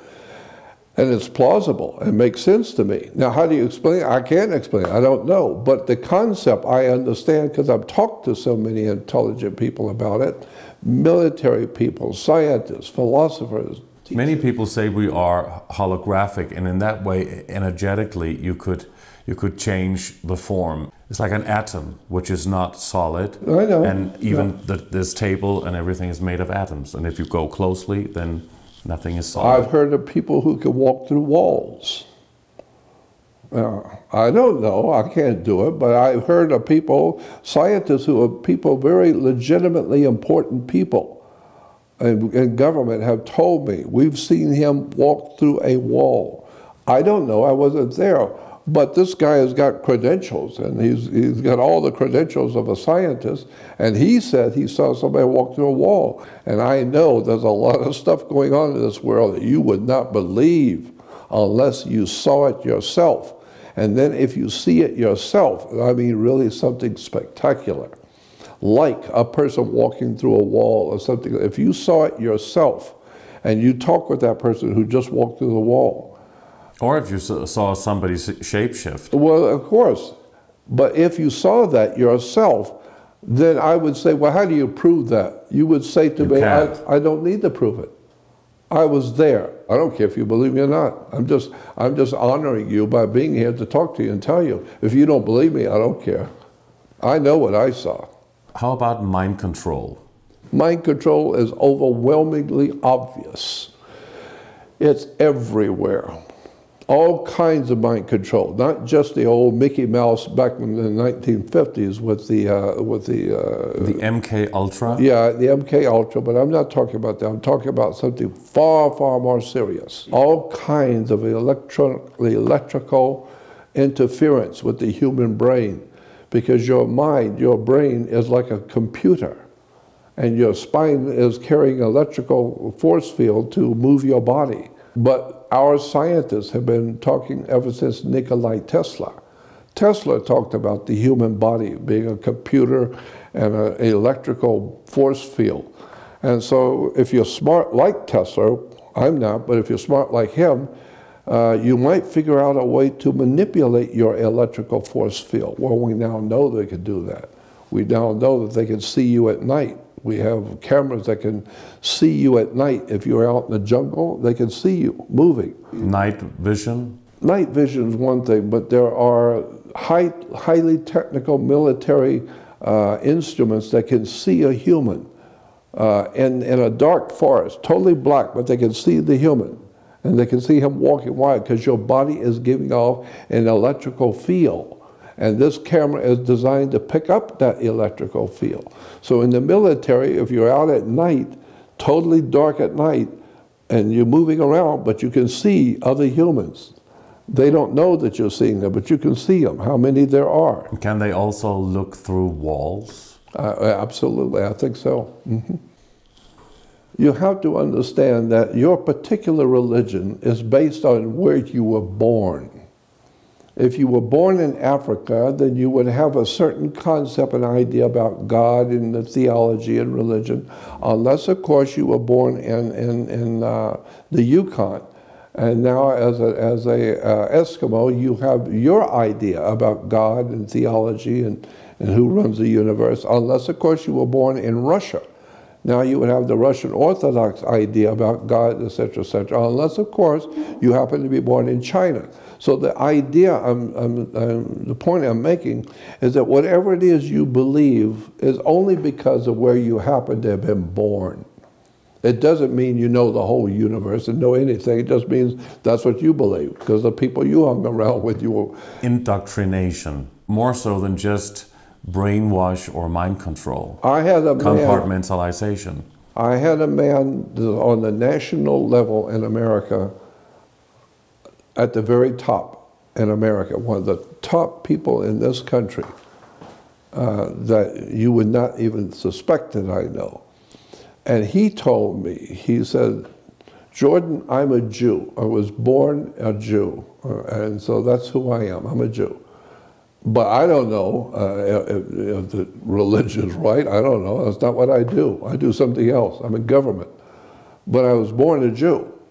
And so I have a feeling, an affection for God as, as a Jew.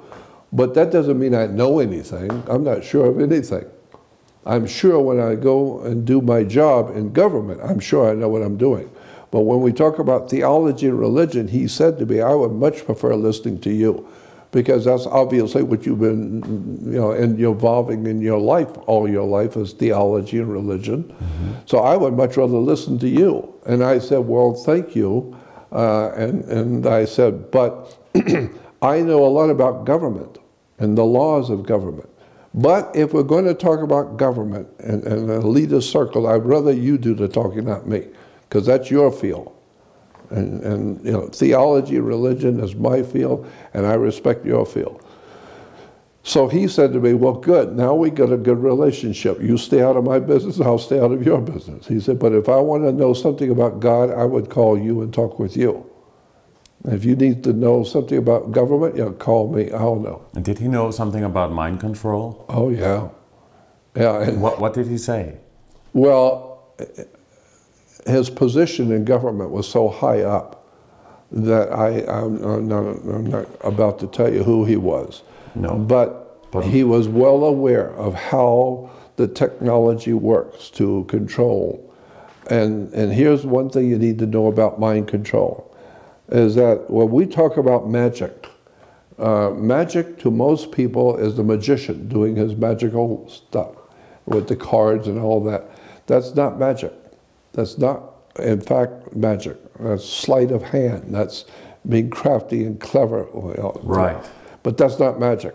Magic as a real, uh, a real thing is very, very powerful otherworldly demonism, devil worship kind of thing. Satanism. Yeah. The occult. Yeah, the occult. It's dealing with powers from the universe that you don't have, but you make a deal with them, and they will let you, they will do for you what you need done, and then you do for them what they need done. Is that what some people refer to as the archons? Yeah, and, and a lot of motion picture and entertainment people will tell you they made a deal with the devil. And lots and lots and lots of important people have said that publicly. We made a deal because with the devil. Because they took part in satanic rituals. Yes, taking part. Uh, I, I could tell you things which are going on in Hollywood right now, but let me tell you something. Um, understand this. In Europe, uh, before the Roman Empire existed, before Rome, Europe was already dominated by a culture of people. And then Rome came along and overtook it. But there was already a very powerful culture of people in North, East, West, and Southern Europe. And this is where we get our word news, North, East, West, and South, you know, N-E-W-S. And so anything that happens in the North, East, West, or South is news. No, it's the, the letters make the word news. But uh, there was already a highly developed culture of people living in Europe. And they were called Druids. And today, there's still a very powerful uh, culture in Europe and America. America's pure, almost pure uh, Druid. Today, America is, is, a Druid company, country. Well, so is Europe. Europe is very Druidic. And the ancient symbols and the words and terms, etc., uh, that they use in Europe, they don't realize those are Druid words and terms. Mm -hmm. Well, one of the most important symbols that the ancient Druids in Europe used, uh, and they were the, the, Druids were always the lawyers, the doctors, the priests, the priests, uh, anything that was important to be, it was a Druid. Druids were very powerful and very intelligent people. But the most important symbol that the Druids had for their magical, to show that they were magical priests, was a, was a magic wand, like Merlin the magician from England, Merlin the magician with a magic wand. Orchestra leaders and conductors around the world use a magic wand. So you play to their music, not yours. I'll tell you when to do this and when to do that. And so the magic wands were always a symbol of druidic magic, real magic. But magic wands were always made out of the wood of a holly tree. It's made out of Hollywood. Get it? And so today, we are we hum, we are Americans are orchestrating magic around the world in Hollywood because it's a druid symbol. And if you bother to go to the encyclopedias or go on the web and look and put into the web uh, uh, uh, pictures, just pictures, just uh, images, not, not, not, the, not the regular web, but just on images, and type in Jesus with magic wand, you will see all over Europe and around the world the Old Testament and New Testament people, the, the 12 apostles, Jesus, Abraham, all the uh, names in the, in the Bible are all doing their, their miracles with a magic wand. There's all kinds of pictures of Jesus with a magic wand raising the dead and feeding the poor. And the magic wands are made out of the wood of a holly tree. It's made out of Hollywood.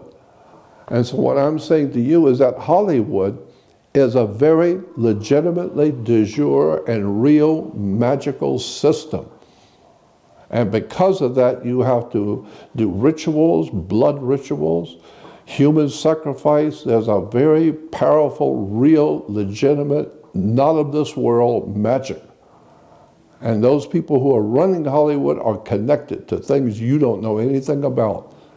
And they, they have the power now to manipulate the world with motion pictures and television. Who's orchestrating that in Hollywood? All of that is being orchestrated out of Hollywood, but it's not because these people are so clever and, and resourceful and talented. No, they are connected to a power that is not of this world. They're connected to something going on that you would understand as demonism or devil worship or spirit worship. So and actors and singers take part in that? Oh, of course they do. Absolutely. Did you see the movie uh, that uh, uh, Eyes Wide Shut? Yes. Yeah. Stanley Kubrick. Yeah, Stanley Kubrick. Stanley Kubrick died shortly after that movie was made. That's what do you know about Eyes Wide Shut and Stanley Kubrick? Well, I just know that first of all, that, that big party that was a, a satanic mass of some sort, so some sort of a satanic thing. I'm not talking about uh, my influence on you or my influence because I'm a wealthy man and I'm influencing you. No. What's Hollywood is an influence you don't even know is happening. It's not of this world. It causes people to commit suicide. It can cause you to kill someone. Some kind of a other world connection to the human mind and to the human world that we live in is controlling you. If you're in, involved in Hollywood and you're involved in the motion picture business or in international banking or in the oil industry, the guys at the top who cause things to happen, they're all being manipulated by spirit forces. The Illuminati are humans that are being manipulated by spirit forces. We all, at the lowest level, all the way up to the Illuminati guys at the top, we're all human. And yet, some of us have magnificent powers to do things. We come into the world as a Rockefeller and we're changing society. But you don't, what you don't know is that the human race is being manipulated by a higher power that you can't see. But can, but can we put a name to that higher power? Well, I, I call it the spirit world. Is that the archons? Yeah, the archons. Yeah. And the Muslims call them the jinn. Yeah, that's exactly right, the jinns. And the, and the Christians call them demons and devils. The Jews call them uh, a different name. Everybody so they are spirit beings. Yes, they're spirit beings, and they're not high, physical. Not physical. They're spirit beings. They can work through reptilians. And some reptilians and other alien species are physical, and some are non-physical. That's right? exactly right. But but you need to understand that there is all over the earth a domination of the human family of humans by extraterrestrial or other world entities that you can't see. All the world uh, of religion believes that there are spirits out there. God is out there and the angels are out there. That's who actually, in point of fact, runs Hollywood, are those spiritual entities. They are using Hollywood to manipulate us, to manipulate the human race We put out movies that cause the riots. We put out movies that promote the one group against the other So group. that is- that is the mind control. The that- collective mind control. yeah, exactly. But it's very, very real, very, very powerful, and really scary. Because if you hear that, that they're sacrificing a child tonight, and you know there, there's human sacrifice in California, in Los Angeles. There's human sacrifice. Have you heard that that is actually real? Oh, God, yeah, of course. There's human sacrifice goes on continually in Hollywood. It's human sacrifice. Children are being sacrificed. There's Why? it's simple. It's very simple because if they are going to help you, they can help you. The spirits uh, have powers and know knowledge and uh, powers and technology you don't know anything about. And they can do things that would just scare you. And you think it's just, God couldn't do this. No, it's not God. It's an extraterrestrial, and he's been around 400 million years, and you haven't. So he knows a lot more about the universe and magic than you do. And so he can come here and look like God to you. I mean, uh, and so if he gives me, if I make a deal with him, I'll give him my body and my life and my soul.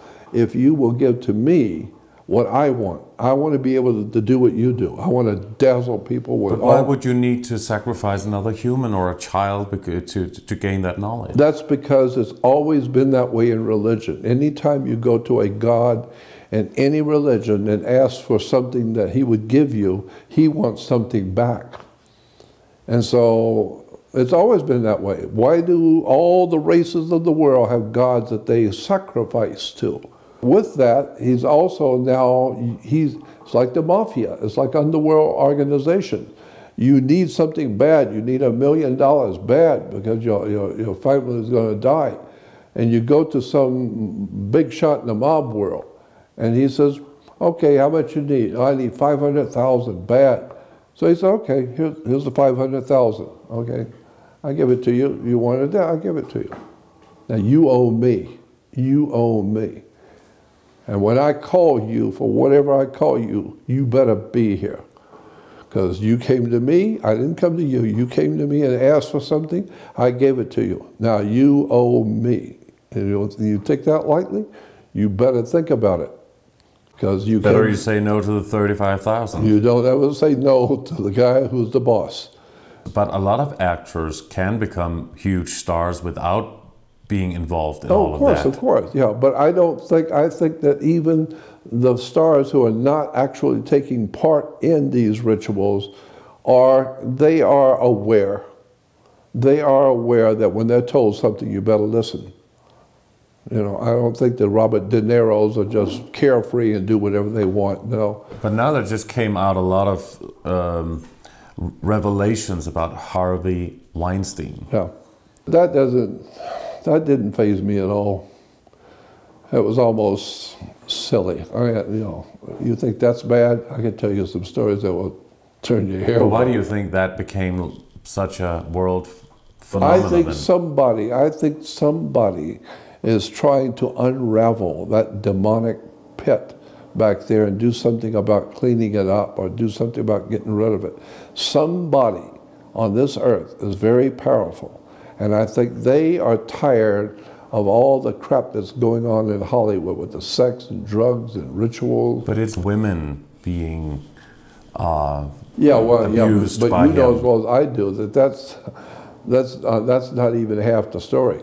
So is it a feminist agenda? It's a sexual agenda. It has to do with sex as a, as a, for, for the sake of sex itself, what sex actually is. And so when you understand sex, what it actually is, is there's a magical, electrical and magical connection to sex. Yeah, and so that's what the uh, ejaculation of the man feels, is this overwhelming uh, sense of spirituality. Well, that's what we're talking about, this overwhelming uh, presence of spirituality within the human mind and the human body, the male energy, because it's impregnating the female. And so therefore in any marriage or any sexual act, it's the man And so the male is manufacturing. And the woman is receiving from the man what he's manufacturing, and she is in labor producing the product. So, are they trying labor. to separate the sexes in a mind control kind of way? Yeah, yeah. Why? Because they because of Well, because- depopulation plan or Well, because it can be used to wipe out your memory of who you are, and wipe out your memory of what, uh, who you are, what you've done. There's all kinds of reasons that I can give you for mind control, and you know as well as I do that there's all kinds of reasons for it. I mean, there's uh, organizations like the, mafia would like to have mind control over people that they uh, rob and, and rape and plunder. Governments would like to have mind control so they don't have to deal with all the goofballs out in the street throwing rocks, and that they can control the masses with uh, narcotics, with dope, with a movie, uh, sex, drugs, alcohol, whatever. Give them whatever they want and get them out of here. You know, to pacify them, uh, yeah, pacify them. yeah. to not think in a spiritual way. or- Right. But, but what we have known for many, many years, I knew this back in the 50s, that sex is a tool that can be used. Uh, that that uh, uh, Wilhelm Reich uh, talked about, about the sexual energy and how it can be used to control humans. It can be used to control women and men, but it's, it's a very ancient arcane science. But if you understand what sex is, it can be used in motion pictures, in music, in colors, and sound, and to control people's thinking. So hmm. I'm just saying, I'm not an expert on this subject, but I know enough about it to know. That's why the porn industry is so successful. That's exactly right. Because the guys that run this planet know that sex is a seller. You know, that's why everything you buy in America has got sex connected to it. Hmm. Yeah. What happens to us when we die? Yeah, that's a good question. no doubt about it. And I have to honestly say that I don't know. But uh, I, I'm tending to think that there is something to um, reincarnation because all the major religions of the world teach a reincarnation. And it makes sense to me if you are a spirit and, and living in a human body, a physical body. So the question I asked a long time ago, what are we? Are we a human body that's the home of a spirit living in it? Or were we a spirit to begin with who came into this world and took on a human body? So what are you really? Are you a spirit or are you a physical body? And so now I know. I mean, logic alone tells me that you're a physical body. But I've heard lectures by scientists and doctors who explain what is what does the brain do. the brain is not what you think it is. If, if, if you put a table with 50 brains taken from 50 different people and you just put the brains on the table, you're not going to be able to tell anybody from anybody because all the brains look the same. You don't even know the difference between male and female. They all look the same. So it's all in the soul, it's all in the spirit. That's right. Personality. That's right. Personality is in the spirit mm-hmm. world. Mm-hmm. And the scientist I heard explaining this was a lady scientist, and it was very interesting. She said the question was, what does the brain actually do? And she said, we now know that the brain does only one thing only.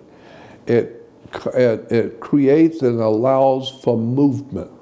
It controls the movement of the brain, the movement of the hands, all of your body functions, where you go, what you're doing. The brain is controlling that. But she said, then she said, but where does your creativity, your spiritual self, where does that come from? Your imagination and dreams at night, where does that come from? And she said, we know positively it does not come from the brain. It does not, the brain is physical for the physical body.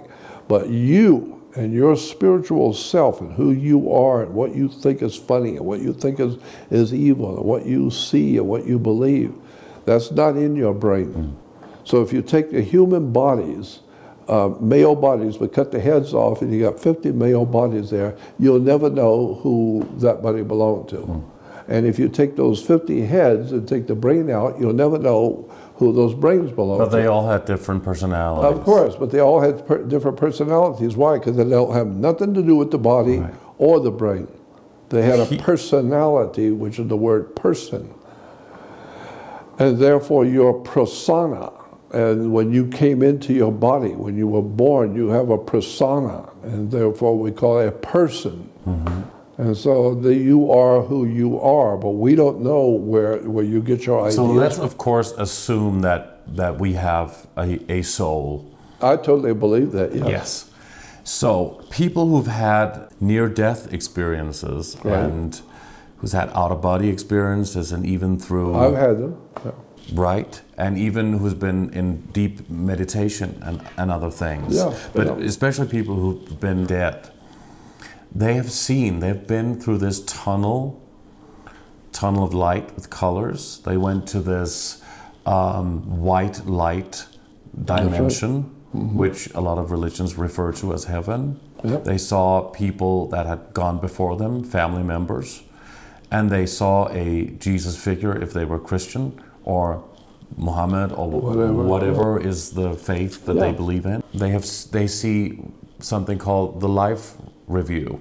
They see everything that they did in their lives. Yep. And then they are asked if they want to correct something or go back in another body mm-hmm. with a wiped memory. Yeah. So that's re- reincarnation. The phenomena that we call reincarnation is true. There's no doubt about that. But it's very tricky because we know that there have been many, many hundreds of cases where people, kids, young children, would tell you that they were here a thousand years ago and that they saw this king do this and they saw this, they saw that, and they give you, and they tell you exactly where things were and all of that. Memory. And then, yeah, from a memory. And then you find out later on they were right. They went and dug it up and found what they said those kids said was there. And so that obviously they were there. Hmm. No, that's not obvious that they were there. It may be a soul memory, but it doesn't mean that they were there at all. There may be spirit entities we call angels, mm-hmm. jinns, whatever you want to call these other world entities. And maybe these spirits, what we call angels, maybe they were there 500 years ago and they saw everything going on. And so uh, today we could take a tape recorder or a digital camera and videotape somebody's voice and hear everything they're saying and forever. That, that you've got them and when they die, 20 years later you can still show and it looks like them talking. It was them. You recorded it. So I'm saying that maybe when we are talking to people who have these wonderful ancient things that have happened to them, no, it didn't happen to you. It happened to one of those archons. It happened to one of those spiritual entities that we call demons, angels, devils, whatever they are, whatever Right. these spirits are, and they are putting that into your mind. Like another form of mind control. Precisely. Mm-hmm. And so here you can sit there and talk about all these wonderful experiences you had in Egypt. You were never in Egypt. They were. So people who've had near-death experiences, atheists, people who don't, do not believe in any kind of religion Right. or anything, and they don't know each other. A lot of them, most of the accounts, they say the same thing with the tunnel and the white light frequency. Is that a real dimension or is it an illusionary dimension? Some people are beginning to suggest that that dimension has been created in a holographic way, the same as maybe we are in a sophisticated way here on Earth. A very, very powerful man that I knew, who was a dear friend of mine. Mm-hmm. Okay? And I'm talking about top of the line in this country. Right. A very powerful man. He told me that he had died. He said, I, I, will tell you, Jordan, uh, experience I had about five years ago. This was back in the 90s. He said, I died. I was on the operating table and I died. And he said, and, I, and when I died, I felt myself come out of my body. And I felt just fine. and I could hear everybody. I could see what they're doing. I'm watching everything, and everybody's running around like a chicken with their head cut off because my, my, my flat line and everybody's trying to save me. I don't need to be saved. I feel fine. I'm just watching all you people running around. And he said, all of a sudden, he told me, all of a sudden, I felt myself going backwards into a vortex. Uh, and I had no control over it. It was sucking me into a vortex. And he said, I went down a long tube and I could see a light. And as I was going, there was all kinds of colors as I was spinning around in this tube. This is what this old man told me. And he said that when I came out, there was an angel that met me. When I came out of the, uh, uh, the tube, an angel met me and said, turn around. You go back. You're not supposed to be here. Turn around and go back. And he said, why? And he said, because one of us, one of ours is down there, and you have to go help him. So turn around, you got a job to do. And he said, I felt uh, without any, uh, I didn't do it. It was uh, uh, automatic. I just got sucked back into the vortex and I went back down through and back down through until I came back into the operating room.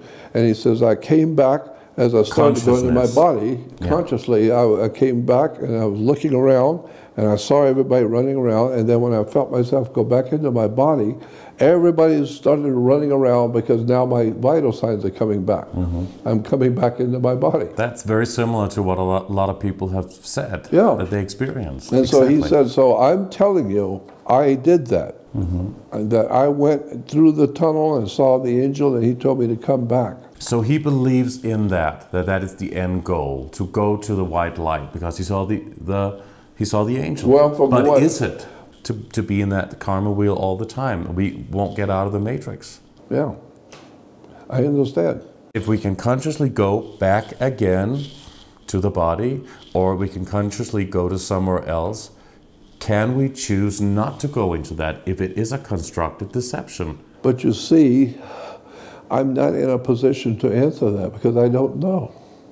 I have gone out of my body and I have way too many friends around the world that have told me about their experience of going out of their body and going through tubes and seeing the light. Very similarly. And, Very, and yeah. I've also talked to people who say, don't go to the light because they're just going to re, re uh, you know, package you and, and yeah. you go back into the system again. Mm-hmm. And so, and, I, and so I asked them, well, if I don't go into the light, where, where would I go? Because if these spirits that, that you talk about, yeah. if they can if they can deceive us here, why why wouldn't they be able to do that just well, in, a, of course. in a in a in a dimension just well, a little bit about course. that? Obviously, of course. What we have to really find out is where to go consciously when we leave the body. Wherever it is you go, you need to keep in mind that whoever is in charge of you going anywhere, they're in charge, not you.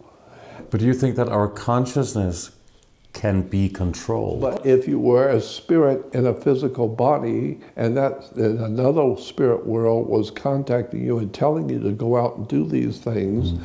it's not contacting your physical body, it's contacting your spirit. Mm-hmm. And your spirit is now being talked to by a higher spirit. Well, when you die and your spirit leaves your body, so it's no big deal. They talk to your spirit all the time unless you're you're becoming conscious about it now. Yes, but what is happening? Yeah. So what what do you think finally here to wrap up? What do you think is the most important thing for people to do when they hear all of these things? Some people may hear hear them for, for the first time. Yeah. And all of the stuff that you're talking about and that we went we we discussed today. I mean, there should be some hope there. There should be something positive to come out of all of this.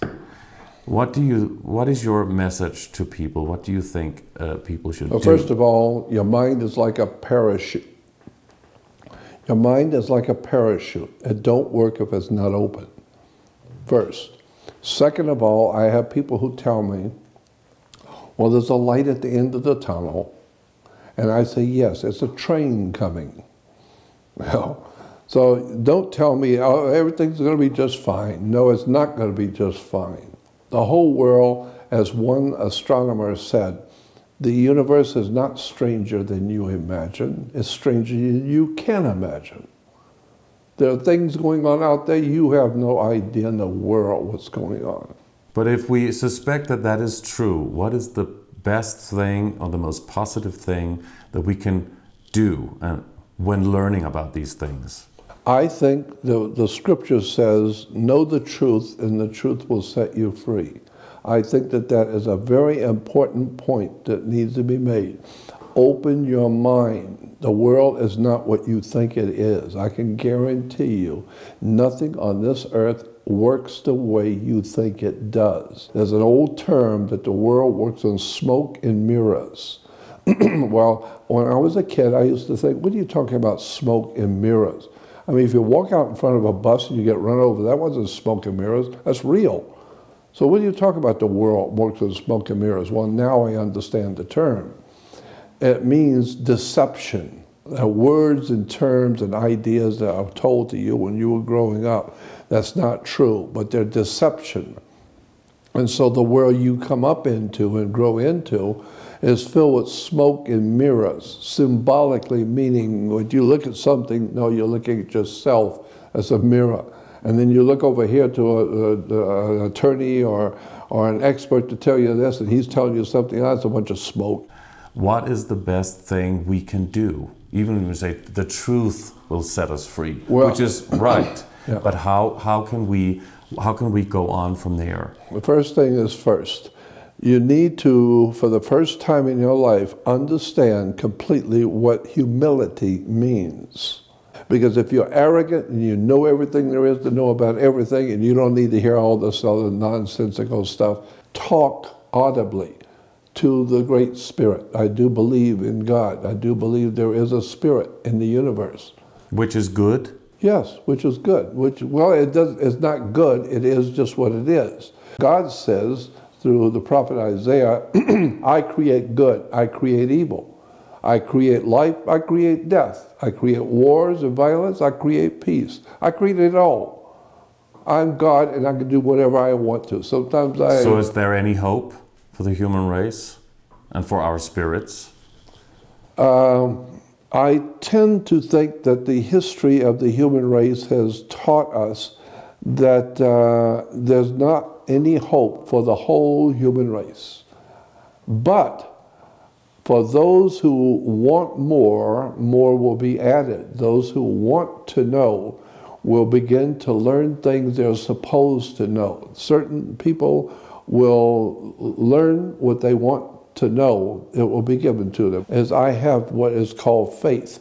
But faith is not what Christians think it is. Whatever's supposed to happen, it will. Whatever you're supposed to learn, you will.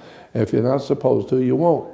So I, I, I'm just saying that the world is far, far different than what you think it is. And not like that astronomer said, the universe is not only stranger than you imagine, it's stranger than you can imagine. There is a world of topics and subjects and things that we could talk about for hours. There are so many things. It's so complicated, it's very complex, it's very fascinating, it's wild, shocking, and everything. Yeah. For now, unfortunately, we do not have more time. But I want to thank you very much, Jordan Maxwell, for doing this interview with Age of Truth. Well, I'm, TV. I was honored that you would think enough of me to ask me to do it, and I thank you. I thank you. Thank you very much. Pleasure.